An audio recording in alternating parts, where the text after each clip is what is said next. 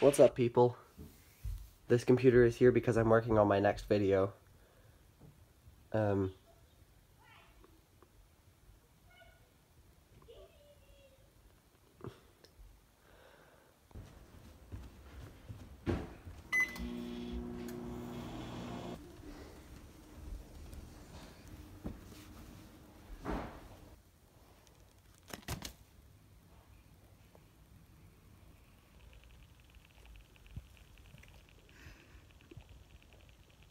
Here I have a sausage McMuffin from McDonald's because my parents still love me.